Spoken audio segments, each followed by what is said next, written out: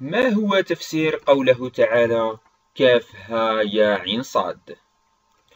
لا خلاف بين أهل العلم أن الحروف المقطعة التي افتتح الله بها بعض الصور في القرآن الكريم كسورة البقرة ألف لام ميم وسورة الأعراف ألف لام ميم صاد وسورة يونس ألف لام را وسورة مريم كاف ها يا عين صاد وسورة صا صا.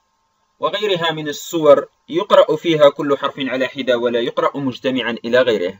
فسورة البقرة يقرأ أولها ألف ثم لام ثم ميم. أما معاني هذه الحروف فقد اختلف فيها أهل العلم على أربعة أقوال في الجملة. أولا هذه الحروف لها معنى لا يعلمه إلا الله وبهذا قال جماعة من الصحابة منهم الخلفاء الراشدون وابن مسعود وغيرهم.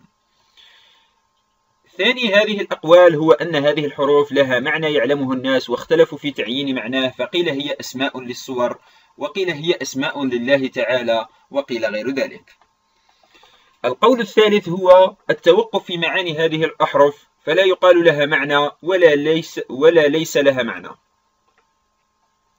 القول الرابع هو أن هذه الحروف ليس لها معنى في ذاتها وبهذا قال مجاهد بن جبر لأن كلام العرب الذي نزل به القرآن لا يعرف فيه معان لهذه الحروف.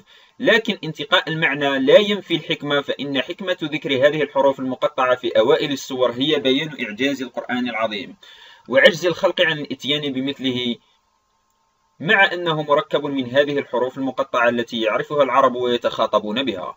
ومما يدل على هذا أن الله تعالى يذكر بعد هذه الأحرف القرآن وعظيم إعجازه وأنه الحق الذي لا ريب فيه وهذا يشير إلى الحكمة من تلك من ذكر تلك الأحرف. ففي ففي سورة البقرة قال الله تعالى ألف لام ميم ثم أتبع ذلك بقوله ذلك الكتاب لا ريب فيه.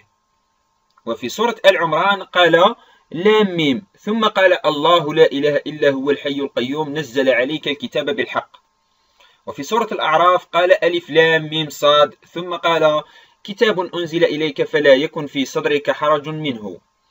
وهذا في بقية وهكذا في بقية الصور التي تبدأ بالحروف. وقد ذكر هذا ونبه إليه جماعة من أهل العلم كالمبرد والفراء وابن تيمية والمزي وغيرهم. وقد قرره تقريرا جيدا الشيخ محمد الأمين الشنقيطي في أضواء البيان. في تفسير سورة هود وبه قال شيخنا محمد العثيمين رحمه الله.